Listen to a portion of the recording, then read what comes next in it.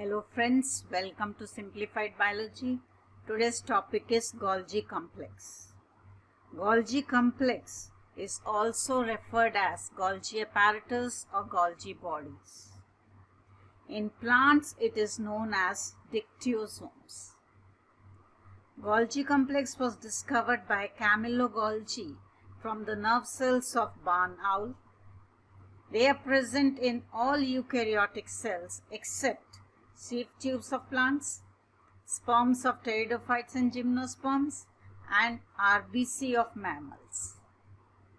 Cells that are rich in Golgi bodies are nerve cells, glandular cells, salivary glands, root cap cells, and dividing cells. Golgi complex occurs between the nucleus just outer to the endoplasmic reticulum and the cell membrane. Structure of Golgi complex was given by Dalton and Felix. It consists of cisternae, tubules, vesicles and vacuoles. Cisternae are membranous sacs. These are the membranous sacs enclosing a lumen or a cavity that is about 60 to 90 angstrom in diameter. The number of cisternae in plants is 3 to 8 while in animals it is 10 to 20. Tubules form a network and are interconnected with the cisternae. They are present towards the periphery of the cisternae and you can say they are formed by the breakdown of cisternae. Vesicles are small sac-like structures about 20 to 80 nanometer in diameter, while vacuoles are formed from the expanded ends of the cisternae. The expanded ends of cisternae break down to form the vacuoles. Golgi complex has two phases, cis phase and the trans phase. Cis phase is the forming phase where new cisternae are formed by the fusion of vesicles produced by the endoplasmic reticulum. So the convex side of the Golgi complex is the cis phase where vesicles produced by the endoplasmic reticulum fuse with the cisternae of the Golgi complex. Transphase is the maturing phase where older cisternae are broken down to form tubules and vesicles.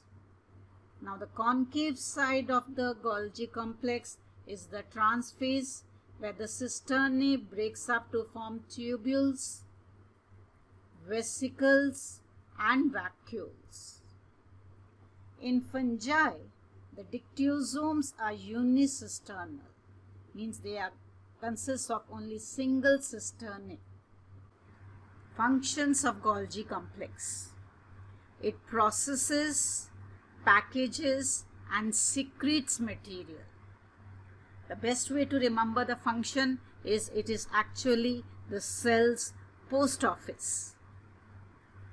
Proteins and lipids formed by the smooth endoplasmic reticulum and the rough endoplasmic reticulum are released as vesicles.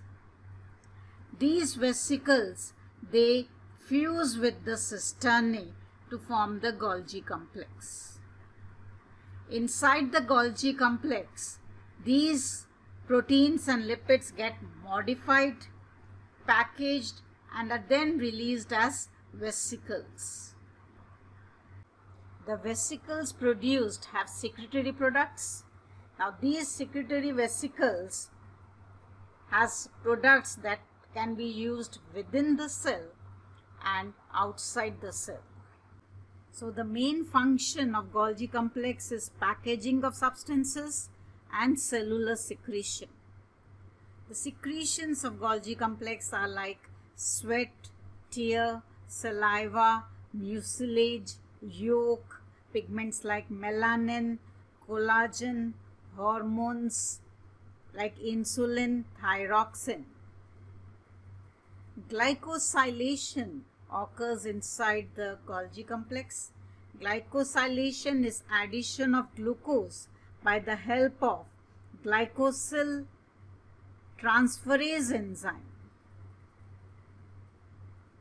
to form glycolipids, glycoproteins, polysaccharides. Pectic compounds are formed, hemicellulose, mucopolysaccharides, hyaluronic acid, all these are formed inside the Golgi complex, even the matrix of connective tissue.